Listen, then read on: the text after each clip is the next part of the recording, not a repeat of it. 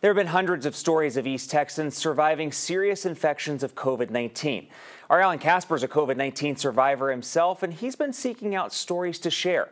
Alan's here now to tell us about today's survivor.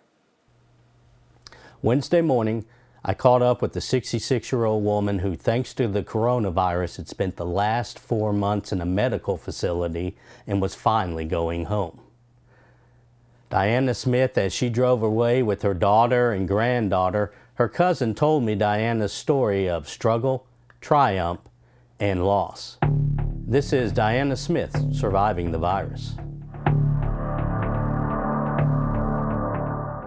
Seeing her come out of there alive and ready to go home and breathing good, it was a blessing.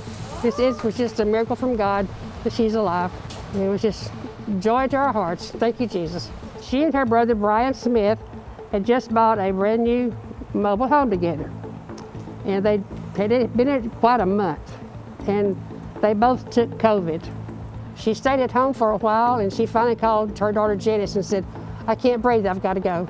They went to Jacksonville, then they had to move them. Jacksonville couldn't take care of them.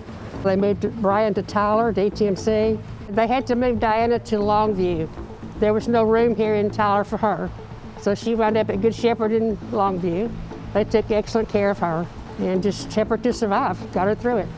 Well, she went into the hospital the first week of October, and she is on a ventilator for 30 days.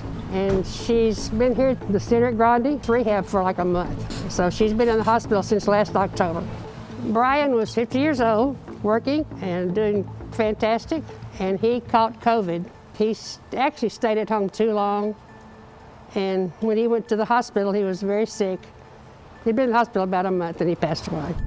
Dianna's foot still has to have a boot on it. She doesn't have all of her strength back yet, but she hopes to be able to walk again. And therapy will come to the house and work with her there. And one of the things she's looking forward to is eating good food from her daughter's cooking. she's already put in her request in what she wants to eat. She wants to help her daughter with her grandkids. She's been working at the Texas National Bank in Bullard for years and uh, they have been a blessing to her. They have supported her and taken care of her. Her faith is she is a born again Christian. We all are, and we know that many, many prayers are from many people all over Bullard, Tyler, Jacksonville. Everybody's prayed for her and donated money to keep her going. You know, and uh, it's just God's in control. He's answered our prayer, and not everybody has been able to survive COVID, but she is their survivor. She's a survivor and she's going to make it. The minute you get COVID, the minute you feel like you can't breathe, go to the hospital. Do not wait. They waited too long and they shouldn't have. Go immediately, even though they were taking medicine. Go to the hospital, get help. Dianna has returned to that home that she had barely moved into just a month before this ordeal began. And while her brother Brian will not be there, her daughter and her family are moving in to help make sure she's well taken care of.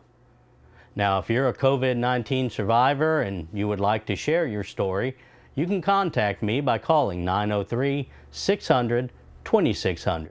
Leave your name, a phone number, and a short message, and I will get back with you.